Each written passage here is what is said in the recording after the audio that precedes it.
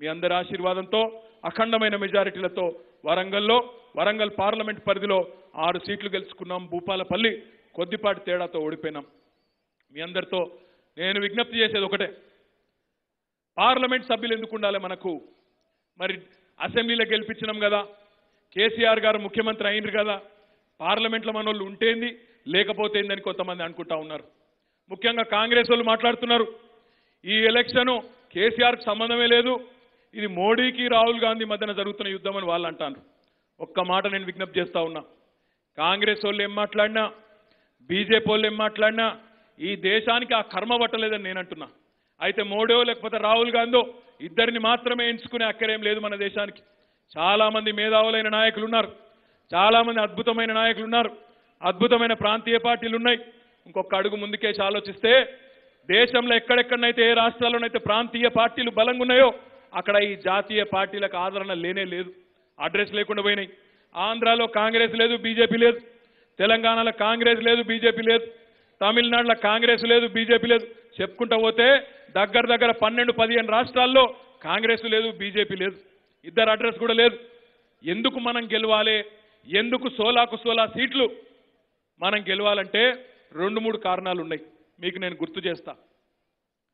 ఈరోజు కాళేశ్వరం ప్రాజెక్టు ఎనభై వేల కోట్ల రూపాయలతో కట్టుకుంటా ఉన్నాం.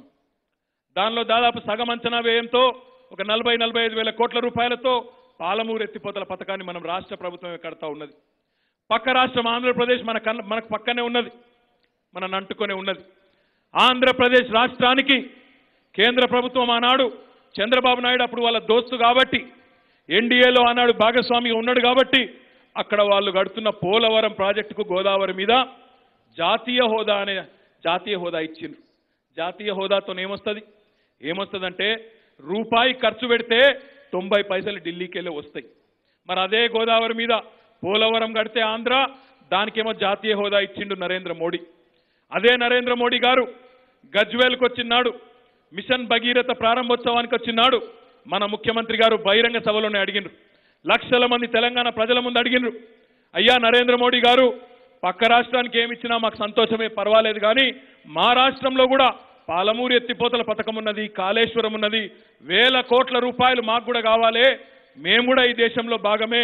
మరి మాకు కూడా సహకరించు ఈ రెండిట్లో. ఏదో ఒక ప్రాజెక్టుకు జాతీయ హోదా ఇయ్యి అంటే నవ్విండు ముసిముసి నవ్వులు తప్ప ఇచ్చింది లేదు సచ్చింది లేదు. ఒక్క పైసా ఇయ్యలేదు.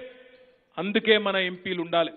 అందుకే పదహారు మంది రేపు ఢిల్లీలో ఉంటే ఏం జరుగుతుంది అంటే ఢిల్లీలో రేపు వాతావరణం చూస్తుంటే రెండు వేల పద్నాలుగు నాడున్న వాతావరణం ఇప్పుడు లేదు.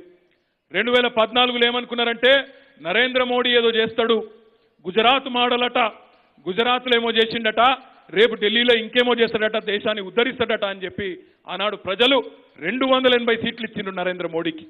కానీ ఈ ఐదేళ్ళు చూసిన తర్వాత అర్థమైపోయింది. నరేంద్ర మోడీ గారు మంచి ఉపన్యాసాలు చెప్తాడు మంచి నినాదాలు చెప్తాడు తప్ప సామాన్య ప్రజల జీవితాల్లో మార్పు తెచ్చేది ఏమి కూడా చేయడు చేయలేడు. ఆయనకు ఆ కల్పన కూడా లేదనే విషయం దేశ ప్రజలకు అర్థమైపోయింది. అందుకే ఈ మధ్యన జరుగుతున్న ఎన్నికల్లో ఎక్కడికక్కడ ఎక్కడికక్కడ అటు నరేంద్ర మోడీ గారి గ్రాఫ్ పడిపోతున్నది. ఆయనకు కూడా దెబ్బలు తగులుతా ఉన్నాయి. రాజస్థాన్లో ఓడిపోయిండు ఛత్తీస్గఢ్లో ఓడిపోయిండు మధ్యప్రదేశ్లో కూడా ఓడిపోయినారు. ఎక్కడైతే ఇక దిక్కులేక అవతల కాంగ్రెస్ ఉంటే కాంగ్రెస్కు నాలుగు ఓట్లు వేస్తున్నారు కానీ కాంగ్రెస్ మీద ప్రేమతోని ప్రజలు లేరు దేశంలో. నరేంద్ర మోడీ గారి నేతృత్వంలోని ఎన్డీఏ రేపటి రోజున నూట యాభై సీట్లు కూడా వచ్చే పరిస్థితి లేదు. అదే మాదిరిగా రాహుల్ గాంధీ గారి నేతృత్వంలోని యూపీఏ నూరు నూట పది సీట్లు వాళ్ళకు కూడా వచ్చేటట్టు లేదు. ఇద్దరు కలిస్తే కూడా ప్రభుత్వాన్ని ఇద్దరు కలిసి కూడా ప్రభుత్వాన్ని ఏర్పాటు చేసే పరిస్థితి లేదనే మాట నేను చెప్పడం కాదు.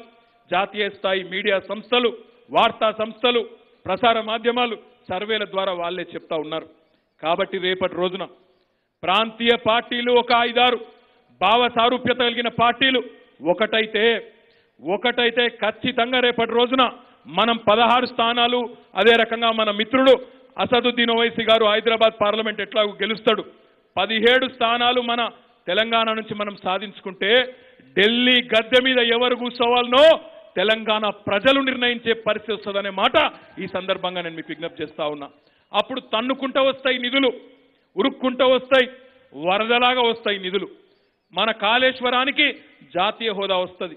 ఒకటి కాదు అవసరమైతే రెండు ప్రాజెక్టులకు వచ్చినా ఆశ్చర్యం లేదు జాతీయ హోదా.